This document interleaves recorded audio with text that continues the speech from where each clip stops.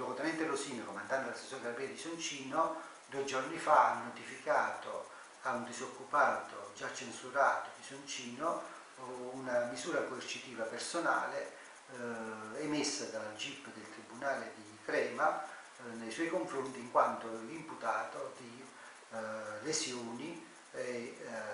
atti persecutori, stalking, di cui a 612 secondo comma,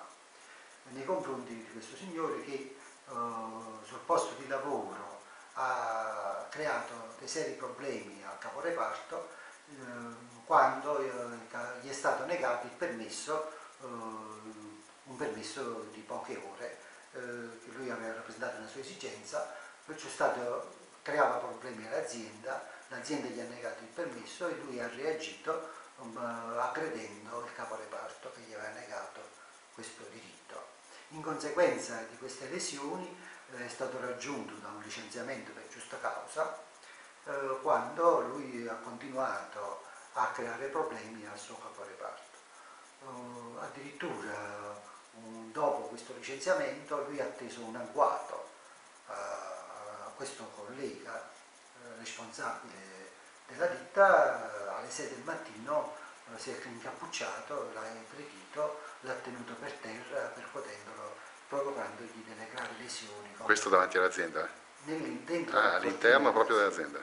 C'è stata questa sua intrusione nell'azienda. Uh,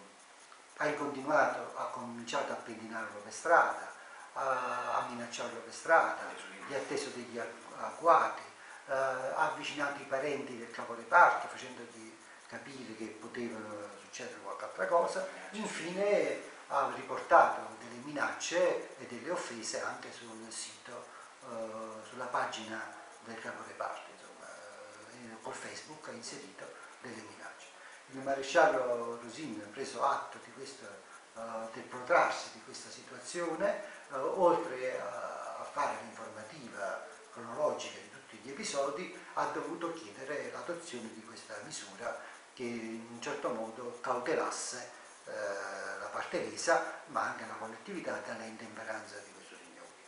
Il giudice per le indagini preliminari ha emesso questa misura che eh, inibisce eh, gli spostamenti di quest'uomo, eh, evita che lui si possa avvicinare a meno di 200 metri dall'abitazione, dal posto di lavoro, dalla persona del caporeparto ma anche dei suoi parenti. Anche di comunicare in qualsiasi modo con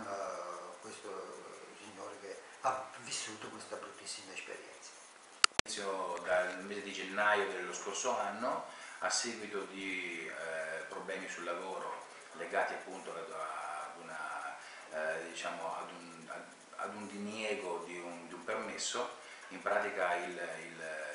questo signore viene, l'aggressore viene, eh, diciamo, gli viene negata un permesso da parte del suo responsabile la reazione di questo sfocia in un'aggressione fisica violenta che determina il licenziamento per giusta causa.